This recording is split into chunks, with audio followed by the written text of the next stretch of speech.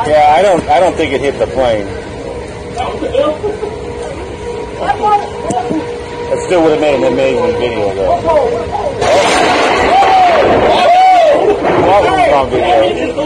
Oh.